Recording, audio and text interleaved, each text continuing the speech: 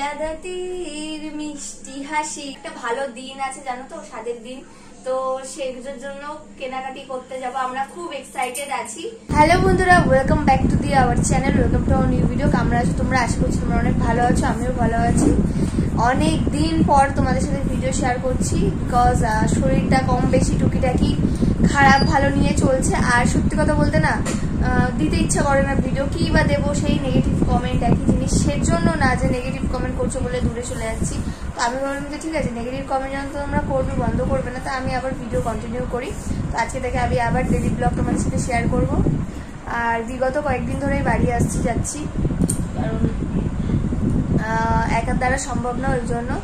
তো তোমরা আমাকে অনেক কমেন্ট করছ, সেই কমেন্টগুলোর আস্তে আস্তে আমি রিপ্লাই করছি। ঠিক আছে? তাহলে তোমরা পুরো ভিডিওটা দেখো, আশা করছি নেগেটিভ চলো, আগে এখানে আমি ম্যাগি খাব। খুব জোর খিদে পেয়েছে। সন্ধ্যা থেকে আজকে না কিছুই খাওয়া হয়নি। আর এদিকে আমার বোন আর মা গেছিল একটা দরকারি কাজে। তো বোন বলেছে যে, আমি তাড়াতাড়ি কাজটা মিটিয়ে এসে আমি তোকে নিজের হাতে ম্যাগি করে দেবো।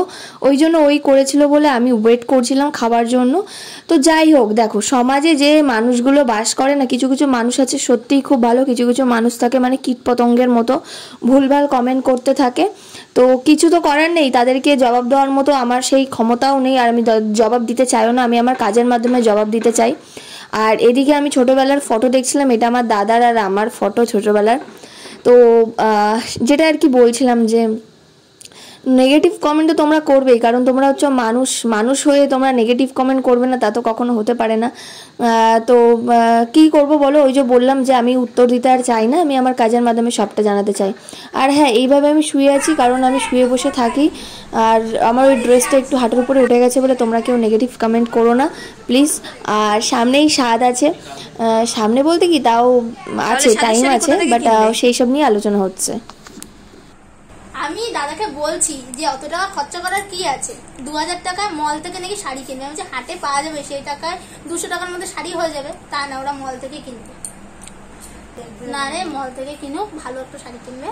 তা আমি আর ওই আমি পিসি হব বাড়িতে আর একজন নতুন অতিথি আসবে। কত খুশি আমরা তাই না? তো সবাই জানতে চাইছে যে আমার আগে হবে না পরে হবে? এইসব কথা পরেই বলব বলো। তাই না বলো? তো সামনে খুব একটা ভালো দিন আছে, জানো তো, স্বাদের দিন।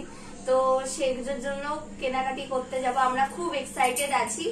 তো সেগুলো ব্লগ দেবো তোমাদের সাথে। আর এতদিন ব্লগ দিইনি কারণ ওই যে বললাম ভালো লাগে না তাই জন্য আবার কন্টিনিউয়াসলি ব্লগ দেবো। তুই কিছু বলবি বল? কি? বলব আমি? হাতে কিছু বলার নেই, কারণ আমার খুব আনন্দ হচ্ছে।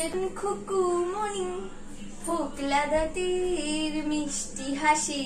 তোমরা আমাকে সবাই বলো, আমি কেন এত লাফালাফি করি? আসলে তো সবটাই ফেক না তোমাদের কাছে, ওই জন্য আমি এত লাফালাফি করি। বাবারে বাবা, প্রশ্ন আসলা করো। আরে, বোঝো কি না, একটা ফোনে যখন শর্ট ভিডিও ভিডিও করা হয়, তখন সেটাকে জুম আউট জুম ইন এরকম নাচানাচি করে। তার মানে কি সে নাচছে? আমি তো দাঁড়িয়ে দাঁড়িয়ে হাত পা অ্যাক্টিভিটি করা হচ্ছে। এগুলো আর কত বোঝাবো তোমাদেরকে? যাই হোক, তোমরা তো বুঝবে না, তোমরা তো মূর্খের মতো প্রশ্ন করতেই থাকো। করতে থাকো, আমার কোনো ব্যাপার না বাট আমি যত অ্যাক্টিভ থাকব, তত আমার ভালো, আমার শরীর ভালো থাকবে। এনিওয়েজ গাইস তারপর তো তোমাদের সাথে অনেক গল্পই করলাম, অনেক দিন পর ভিডিও দিচ্ছি, তাই ভাবলাম কি ভিডিওটা বেশি বড় করব না, ছোট মিনি ব্লগ টাইপের তোমাদের সাথে শেয়ার করি। আর অনেকটা রাত হয়ে গেছে, আজকে রাতের মেনুতে আছে গরম গরম আলু সেদ্ধ, ডিম ভাজা, সাথে ডাল, আর দুপুরের যা যা ছিল আর কি। তো আমি শুধু আলু সেদ্ধ আর ডালটা দিয়েই খাব। হঠাৎ করে শরীরটা আবার ঝিমিয়ে পড়েছে, ভালো লাগে না, কারণ ভিডিও ফিডিও করতে হয় তো।